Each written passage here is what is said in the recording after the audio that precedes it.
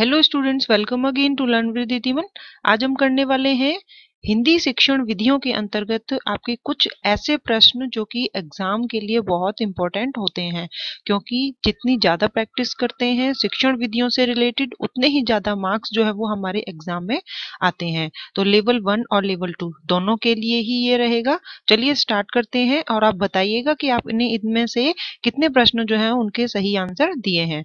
सातवीं कक्षा में पढ़ने वाली आशा कक्षा में सबसे पहले अपना कार्य समाप्त कर लेती है। हिंदी भाषा भाषा शिक्षक के रूप में आप क्या करेंगे? तो सपोज़ आप ही हिंदी भाषा शिक्षक हैं तो आप क्या करोगे? अगर आपकी क्लास में एक जो बच्ची है, वह सबसे पहले अपना कार्य समाप्त कर लेती है। चलिए फ़र्स्ट है, आशा को दूसरे बच्चों के कार्य की जाँच का एकमात्र अधिकारी बताएँगे। सेकंड है आशा को कि दूसरों से तुलना करेंगे। थर्ड है आशा को उसकी पसंद का कार्य करने के लिए कहेंगे या आशा से शांत बैठने के लिए कहेंगे। तो देखिए, इनमें से जो सही उत्तर होगा, यहाँ दो आंसर जो है, वो तो बिल्कुल ही गलत हो जाएँगे, क्योंकि हमें किसी भी बच्चे की दूसरे से तुलना नहीं करनी है, यानी सेकेंड जो है वो बिल्कुल गलत है। फोर्थ है कि अगर बच्ची ने जल्दी कार्य कर लिया है तो हम उसे शांत बैठने के लिए नहीं कह सकते, क्योंकि वह अगर शांत रहेगी तो वह और ज़्यादा परेशान हो जाएगी, ठीक है? तो फोर्थ है, ये भी नहीं होगा। तो आंसर क्या होगा? इसका सही आंसर जो है, वह होगा कि आशा को उसकी पसंद का कार्य करने के लिए कहेंगे, जिससे कि वह अपने कार्य में व्यस्त हो जाएगी और बाकी जो बच्चे हैं, वो कार्य कर लेंगे। आशा को दूसरे बच्चों के कार्य की जाँच का एकमात्र अधिकारी बताएँगे, यह भी बिल्कुल गलत होगा। चलिए नेक्स्ट है, हिंदी भाषा की बारीकी को सही रूप से समझने की क्षमता का विकास करने के लिए आप क्या करेंगे? फ़र्स्ट है, हिंदी भाषा के विभिन्न प्रयोगों से युक्त सामग्री उपलब्ध कराएँगे। संस्कृत निष्ठ हिंदी भाषा से युक्त सामग्री उपलब्ध कराना। थर्ड है, हिंदी भाषा के प्राचीनतम प्रयोगों से युक्त सामग्री उपलब्ध कराना या गुण अर्थ वाली भाषा से युक्त सामग्री पढ़वाना। तो क्वेश्चन में क्या पूछा गया है कि हिंदी भाषा की बारीकी को सही रूप से समझने की क्षमता का विकास करना है। तो इसके लिए ना तो संस्कृत निष्ठ हिंदी भाषा से युक्त सामग्री उपलब्ध कराएँगे ठीक है? और ना ही प्राचीनतम प्रयोगों से युक्त सामग्री उपलब्ध कराएँगे और ना ही गुण अर्थ वाली भाषा से युक्त सामग्री पढ़वाएँगे। तो आंसर क्या होगा कि हमें हिंदी भाषा की बात कर रहे हैं तो हिंदी भाषा की विभिन्न प्रयोगों से जो युक्त सामग्री होंगी, वही उपलब्ध करवाएँगे, जिससे कि समझने की जो क्षमता है, उसका विकास होगा। तो क्वेश्चन पढ़ना है, उसके अकॉर्डिंग ही आंसर जो है, वह चूज़ करना है। हिंदी भाषा शिक्षक के रूप में आप किसे सबसे अधिक महत्वपूर्ण मानते हैं? तो इन चार में से सबसे ज़्यादा इंपॉर्टेंट आप किसको मानेंगे? बच्चों की लेखन क्षमता का विकास करना, बच्चों को विभिन्न संदर्भों में भाषा प्रयोग सिखाना, बच्चों की मौखिक अभिव्यक्ति की क्षमता का विकास करना या बच्चों को व्याकरण के नियम सिखाना। तो देखिए, हिंदी भाषा शिक्षक के रूप में सबसे अधिक इम्पोर्टेंट क्या होगा? लेखन क्षमता, बिल्कुल एक पक्ष की बात हो रही है जो चार कौशल हैं, हमें चारों में दक्ष करना है बच्चे को तो यहाँ एक पक्ष की बात हो रही है, केवल लेखन क्षमता की, ये आपका आंसर नहीं होगा। थर्ड में मौखिक अभिव्यक्ति की क्षमता का विकास, यहाँ भी वही बात है, मौखिक अभिव्यक्ति में ही दक्ष करा देंगे। तो लेखन और वाचन, इसका क्या होगा? फोर्थ है बच्चों को व्याकरण के नियम सिखाना। नियम जो है, उनकी बात हम नहीं करते हैं, ठीक है? क्योंकि हमें नियम नहीं सिखाने हमें बच्चों को संदर्भों से जोड़ना है, जिससे कि वो अर्थ ग्रहण कर सकें। तो इसका सही आंसर होगा, बच्चों को विभिन्न संदर्भों में, विभिन्न संदर्भों में भाषा प्रयोग सिखाएँगे। चलिए नेक्स्ट है। जो बच्चे विशेष रूप से पढ़ने में कठिनाई महसूस करते हैं, वे डिस्ग्राफिया से ग्रस्त होते हैं, मंदबुद्धि होती है डिसलेक्सिया से ग्रस्त होते हैं या सीखने में अक्षम होते हैं। तो यहाँ हमें बहुत अच्छे से पता है कि जो डिस्ग्राफिया है, वो लेखन से संबंधित जो कठिनाई महसूस होती है तो वह होती है। मंद बुद्धि यहाँ मंद बुद्धि की बात नहीं हो रही है। यहाँ पर तो पढ़ने में कठिनाई महसूस कर रहा है बच्चा। सीखने में अक्षम है तो फिर कठिनाई उसे महसूस ही नहीं हो रही है। तो यहाँ आंसर जो होगा, वो होगा डिसलेक्सिया, क्योंकि पढ़ने से संबंधित ये प्रॉब्लम होती है। नेक्स्ट है, भाषा अर्जन, बच्चे भाषा को सहज और स्वाभाविक रूप से सीखते हैं। भाषा अर्जन में, भाषा अर्जन में बच्चे भाषा को सहज और स्वाभाविक रूप से सीखते हैं, अभ्यास और यांत्रिकता से सीखते हैं, स्वाभाविक और प्रयासपूर्ण तरीके से सीखते हैं या सहजता और अभ्यास से सीखते हैं। तो यहाँ भाषा अर्जन की बात हो रही है, इसे आपको बहुत अच्छे से याद रखना है। तो देखिए एक होता है भाषा अर्जन और एक होता है भाषा अधिगम, ठीक है? तो भाषा अधिगम जो है, उसके लिए तो हमें प्रयास करने पड़ते हैं, लेकिन भाषा अर्जन की बात होती है तो वह तो सहज ही हो जाती है, जैसे कि हमारी मातृभाषा, और भाषा अधिगम जैसे कि कोई सेकंड लैंग्वेज सिखानी हो, यानी दूसरी जो द्वितीय भाषा होती है, वो बच्चे को सिखानी हो।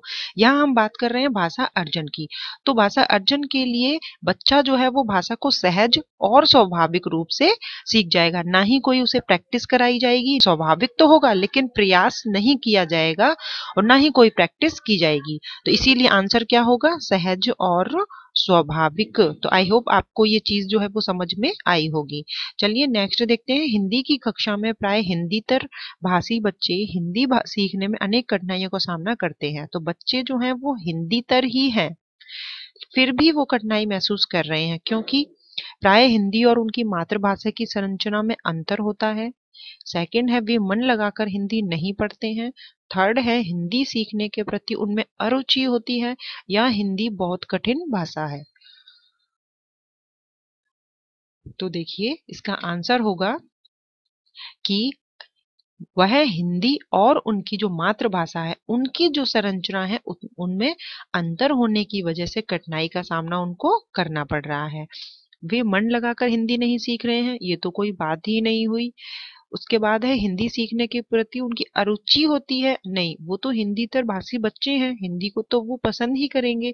हिंदी बहुत कठिन भाषा है, ऐसा बिल्कुल नहीं होता है। नेक्स्ट है, गृह कार्य के बारे में कौन सा कथन उचित है, कौन सा सही है? गृह कार्य देना अति आवश्यक है, यानी कि बहुत ज़्यादा ज़रूरी है? गृह कार्य देना, होमवर्क देना? गृह कार्य अभिभावकों अभिभावकों को व्यस्त रखने का उत्तम साधन है? भाई, पेरेंट्स जो है, वो बिज़ी हो जाए, इसीलिए बच्चों को होमवर्क दिया जाता है। बच्चों की क्षमताओं, स्तर के अनुसार गृह कार्य दिया जाना चाहिए। लास्ट है, गृह कार्य कक्षा में किए गए कार्य का अभ्यास मात्र है। तो कौन सा कथन जो है वो उचित होगा?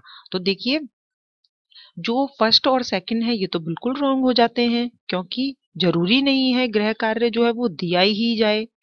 नेक्स्ट और अभिभावकों को व्यस्त करने का ही उत्तम साधन है, ये तो नहीं। अब थर्ड और फोर्थ यहाँ पर हमको देखना है कौन सा आपका सही होगा।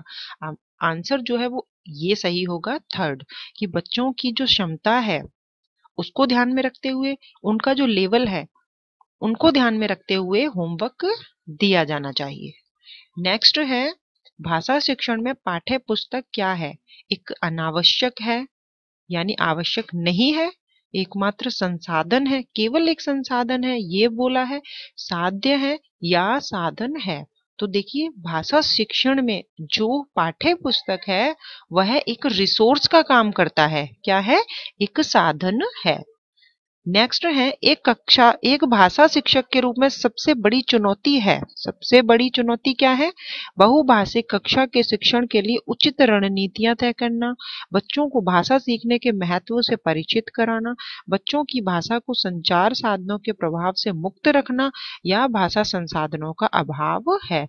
तो यहाँ पर पूछा क्या है? सबसे बड़ी चुनौती। एक भाषा शिक्षक के रूप में सबसे बड़ी चुनौती। तो देखिए, सही आंसर होगा कि सबसे बड़ी चुनौती क्या है? बहुभाषिक कक्षा। यानी कि बहुत सारी भाषाएँ हैं, उसके साथ कक्षा में शिक्षक जो है वो पढ़ा रहा है। तो उनके लिए शिक्षण के लिए उचित रणनीति जो है वो तय करना ये सबसे बड़ी चुनौती होती है एक भाषा शिक्षक के रूप में। नेक्स्ट है, बच्चों के लेखन कौशल का मूल्यांकन करने के लिए कौन सी विधि सबसे बेहतर हो सकती है? लेखन कौशल का मूल्यांकन करना है। तो क्या उन्हें सुंदर लेख का अभ्यास कराएँगे? अपने अनुभवों को लिखना ऐसा कहेंगे? श्रुत लेख कहेंगे? या पाठा आधारित पाठ आधारित प्रश्नों के उत्तर लिखने को बोलेंगे। तो देखिए, लेखन कौशल का मूल्यांकन करने के लिए सबसे बेस्ट जो विधि है वो कौन सी हो सकती है? तो यहाँ सबसे बेस्ट जो है वो एक ही दिखाई दे रही है कि अगर बच्चे को हम बोलेंगे कि वो अपने अनुभव लिखें तो यहाँ पर लेखन कौशल जो है वो बहुत अधिक प्रभावी रहता है। नेक्स्ट है, कहानी सुनाने से। बच्चों की कल्पना शक्ति, चिंतन शक्ति का विकास होता है। बच्चे प्रसन्न होते हैं। बच्चे कक्षा में एकाग्रचित होकर शांत बैठते हैं या बच्चे अनुशासित रहते हैं। तो कहानी सुनाने का क्या मोटिव होता है? क्या उद्देश्य होता है? क्या केवल बच्चे प्रसन्न हो जाएँ इसलिए कहानी सुनाई जाती है या चुपचाप शांत होकर बैठ जाएँ इसलिए सुनाई जाती है या फिर वो डिसिप्लिन में रहें? तो कहानी सुनाने का उद्देश्य ये होता है कि उनकी जो कल्पना शक्ति है, उनका जो चिंतन शक्ति है, उसका विकास हो सके। नेक्स्ट है, एक समावेशी कक्षा, एक इंक्लूसिव क्लास है। उसमें कौन सा कथन भाषा शिक्षण के सिद्धांतों के प्रतिकूल है, यानी कि अपोजिट है, प्रतिकूल है? फ़र्स्ट है, व्याकरण के नियम सिखाने से बच्चों का भाषा विकास शीघ्रता से होगा। बच्चे परिवेश से प्राप्त भाषा को ग्रहण करते हुए भाषा प्रयोग के नियम बना सकते हैं। भाषा परिवेश में रहकर अर्जित की जाती है या प्रिंट समृद्ध माहौल भाषा सीखने में सहायक होती है। तो इनमें से जो प्रतिकूल है, उसे आपको देखना है। तो जो एक समावेशी कक्षा है, उसमें भाषा शिक्षण का जो सिद्धांत है, वो कौन कौन से हो सकते हैं? तो अगर हमें वो पता चल जाएँगे तो हम उन सिद्धांतों के प्रतिकूल को भी देख पाएँगे। तो हमारा आंसर वही हो जाएगा। तो देखिए, आंसर क्या है? कि व्याकरण के नियम सिखाने से बच्चों का भाषा विकास शीघ्रता से होगा। तो ये बिल्कुल ही गलत बात है हमारी क्लास जो है वो इंक्लूसिव क्लास है और हमें भाषा शिक्षण की अगर सिद्धांत सिखाने हैं तो उन्हें व्याकरण के नियम न सिखाकर उन्हें क्या सिखाया जाएगा? उदाहरण से हम उन्हें व्याकरण की तरफ़ ले जाएँगे। और बच्चे परिवेश से प्राप्त भाषा को ग्रहण करते हुए भाषा प्रयोग के नियम बना सकते हैं, बिल्कुल बना सकते हैं। भाषा परिवेश में रहकर अर्जित की जाती है, बिल्कुल की जाती है। प्रिंट समृद्ध माहौल भाषा सीखने में सहायक होती है। चलिए नेक्स्ट है, बोलना कौशल में महत्वपूर्ण है। क्या महत्वपूर्ण है?